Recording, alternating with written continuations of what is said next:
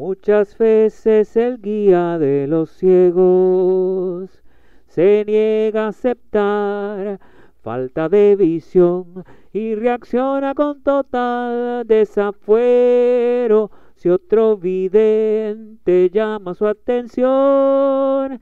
Si el desafuero se torna injusticia, mantenida mediante represión. Cuando el abuso se hace insoportable, desencadena una revolución. Los atravesados de nuestro mundo hacen sombra interponiéndose al sol. Y ninguno de ellos hace gran caso si se solicita su remoción. No aceptaremos vivir en las sombras donde no crecen los bosques de amor.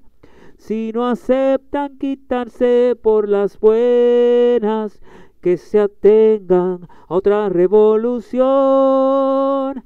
Los absolutistas de nuestro mundo viven convencidos de ser el Dios que a la vez ve el pasado y el futuro y abre puertas según su pretensión. No aceptaremos vivir confinados en los espacios de su creación. Si no aceptan creaciones colectivas que se atengan a otra revolución, los oportunistas de nuestro mundo aspiran a la fama sin cesar.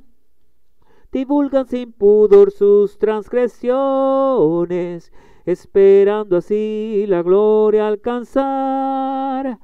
No habrá gloria en la exaltación del odio, ni habrá paz al reinarla sin razón.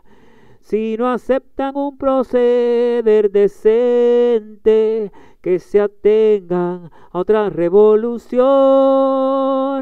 Los tosudos con falta de visión, los bloqueadores de la luz del sol, los convencidos de ser como un dios, los promotores de la sin razón. Los que no quieren superar la R y se resisten a la evolución, precipitando la hora de cierre, que se atengan a otra revolución, que se atengan a otra revolución.